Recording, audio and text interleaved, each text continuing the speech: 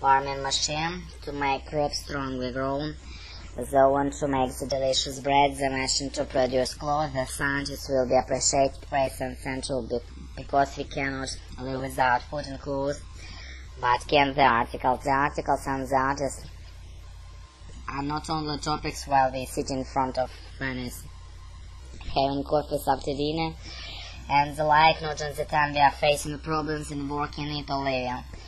Once we meet a difficulty in doing something, the ideas that solve problems, science methods, look for help of scientists spark at first in our mind. Example, a complex and confused math subject makes me extremely exhausted and the first and the only thing I want is a calculator which can work out by pressing a few buttons second. Meanwhile, my favorite Bach, Mozart, Shakespeare, and the articles are all out of my mind when I have no help with it. Therefore, the significance of science is among the contribution for human beings is more considerable than the artist because the science has a superiority than the art can surpass in the basic life of people. Artists and scientists both make valuable contribution to our society. It may seem sometimes that artists are not valued. That's because those artists who are famous make a lot of money, however, they are relatively few. The fact is that scientists are more valued, they get more respect from society for their work too. Artists reflect their times and their culture. A painter or writer shows us pictures and words wise we like people. They record our culture for future generation. Actors and other performers like singers, dance, entertain us. They take our minds off troubles and remind how beautiful and exciting our imagination can be.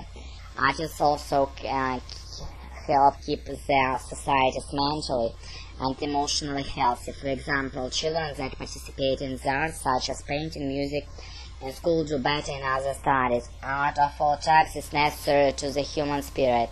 The contributions scientists make to the society are more obvious. They include the cars we drive, the computers we use at home uh, or at work, the appliances that help us cook our meals and clean our houses. And all of this comes from the idea is the hard work of scientists. Because of scientific discoveries, we are living longer and more beautiful lives. Scientists also attribute to us.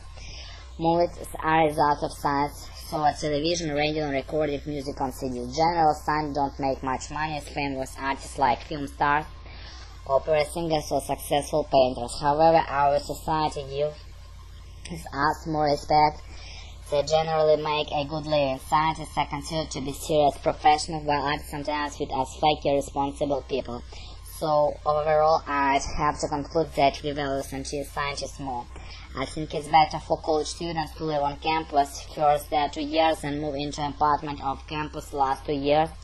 Freshmen, sophomores need stability of campus life, while juniors need independence of off-campus life. Students need change over four years, the housing should too. Репетиторы Паскаль.